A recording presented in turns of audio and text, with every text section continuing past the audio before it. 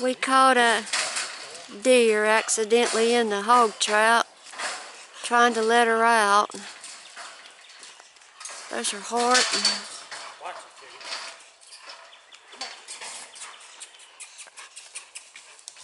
Thank goodness.